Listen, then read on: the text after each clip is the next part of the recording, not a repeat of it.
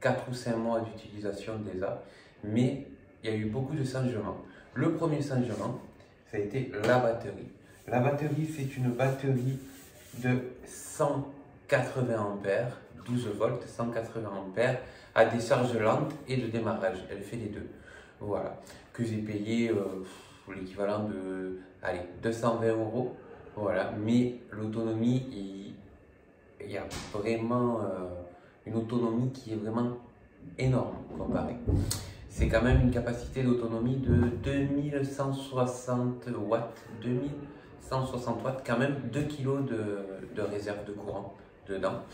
Euh, de là, le changement, le convertisseur, c'est un 4000 watts.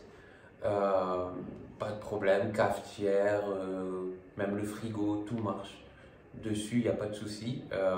sauf que bon, moi, j'ai pas brancé le frigo, mais j'ai brancé les cafetières et comme avez dit déjà dans mon ancienne vidéo, la moitié des prises électriques de chez moi et tout l'éclairage. Voilà, sur ça, après, le régulateur, c'est toujours le même, 20 ampères, voilà, régulateur de 20 ampères. Et j'ai installé ça, ce petit boîtier qui me dit combien je consomme en, en watts, en kilowatts et tout ça. Je suis sur une consommation de 14, 14 kg de courant sur 14 jours. Je, consommé, voilà, avec, je produis et consommé. Donc 14 kg de courant en, en 14 jours, voilà.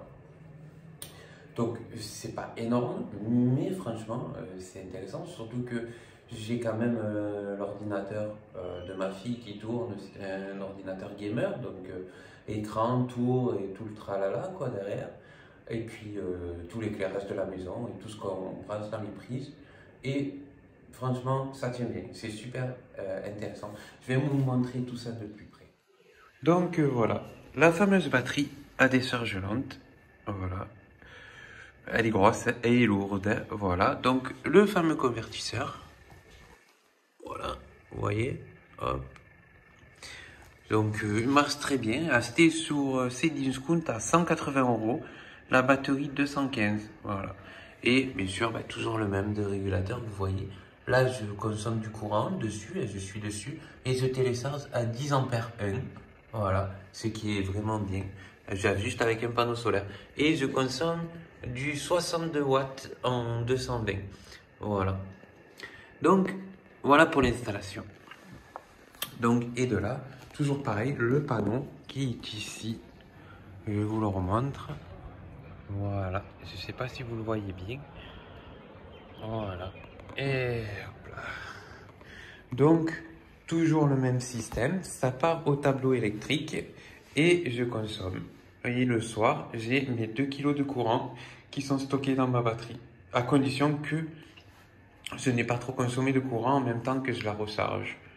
Voilà, et donc comme je disais, voilà l'inverseur qui est ici, l'inverseur, donc comme j'avais déjà fait ma vidéo, que je bascule à mon courant et le courant d'EDF.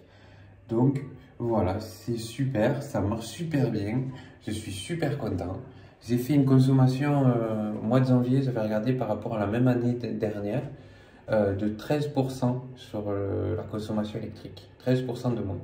Bon, voilà, en gros, je pense 10% de moins sur tout le mois, j'ai fait.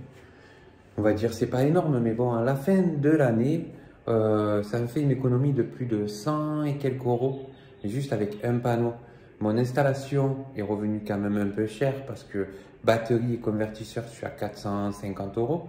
Mais le panneau, je suis à 130 euh, le régulateur, ça vaut pas cher. Mais euh, le truc, c'est que je suis équipé pour installer au moins deux, un autre ou deux autres panneaux sans rien changer, même le régulateur. Donc ça, c'est super. Voilà.